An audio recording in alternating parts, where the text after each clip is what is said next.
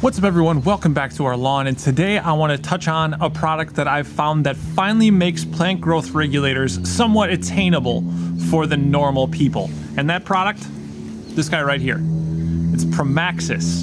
And so basically this is the almost exact, of this is 11.3%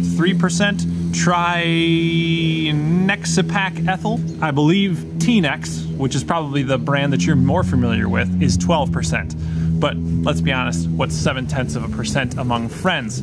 So this is what T-Nex is. It's the same product. So why do I say it's the most affordable? Well, T-Nex, the smallest that I've seen that you can get, you get it in a gallon and it's $170.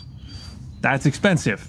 Now, this is an eight ounce bottle and it costs $34. Now, if you do the math quickly, that's actually four times more expensive per ounce.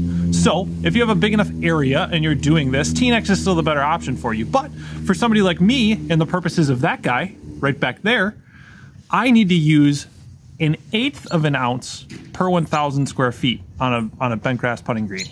At that rate, this is going to last me years and it was $34 rather than $170. Now there are a couple other plant growth regulators, but all of them are very small bottles for 90 to 100, maybe you get down to $80. All very expensive high barrier to entry products. This is the cheapest that I've seen in terms of what you can actually buy it for for a single one-time investment. And what does a plant growth regulator do? Well, in simplest terms, it just slows the top growth of a plant. So you apply this to the turf and it just doesn't grow up as much. So it is going to reduce your amount of mowing.